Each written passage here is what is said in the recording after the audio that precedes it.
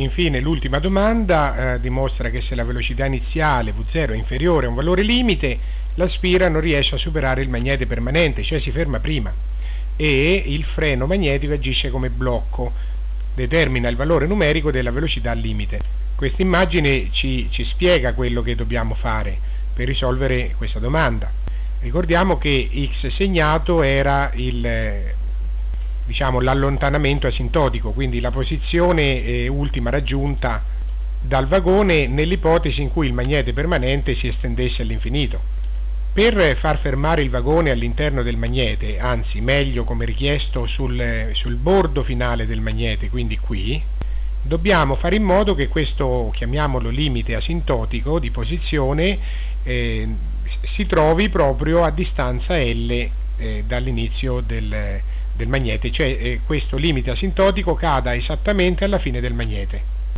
Allora eh, l'andamento dell'esponenziale crescente che rappresenta la posizione che, eh, che aumenta nel tempo del vagone non tenderà più a schiacciarsi come prima sul eh, valore asintotico di prima, ma si schiaccerà sul valore asintotico nuovo che si trova alla fine del magnete. Quindi la curva non sarà più questa nera, ma sarà questa di colore rosso. In questo modo il vagone eh, si fermerà asintoticamente alla fine del magnete e non riuscirà più a uscire. Quindi dobbiamo porre x segnato uguale a, a L. Quello che troveremo da questa condizione, da questa equazione, sarà che la velocità d'ingresso del vagone deve essere minore di prima. Infatti la velocità V0 di prima, 20 cm al secondo, era eccessiva e, e, permetteva al vagone di raggiungere la fine del magnete e di uscire. Invece se il vagone all'inizio va più piano, e questo valore vedremo sarà intorno ai 9 cm al secondo, allora andando più piano non riuscirà più a sfuggire al magnete, ma si fermerà proprio eh, alla fine del magnete, dopo aver percorso una distanza pari a L. E infatti si vede anche nel grafico che eh, questa curva rossa ha una pendenza iniziale V0 segnato che è minore di V0 proprio perché sta a indicare una minore velocità d'ingresso del vagone nel, nel, campo del magnete.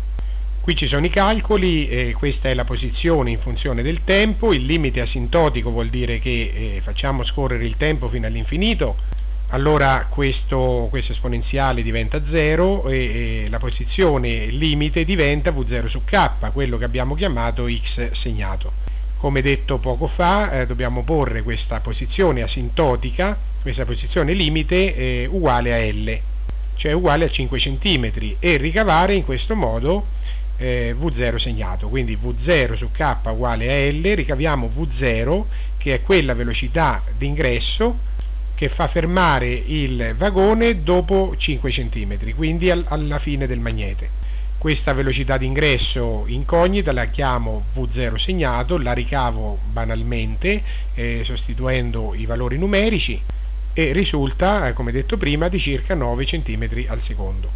Perciò se il, se il treno entra nel campo del magnete con una velocità eh, minore o anche uguale a 9 cm al secondo si fermerà all'interno del magnete. Con una velocità di 9 cm al secondo si ferma sul bordo finale del magnete. Con una velocità minore non so 8, 7, 5, 2 cm al secondo si fermerà eh, in una posizione intermedia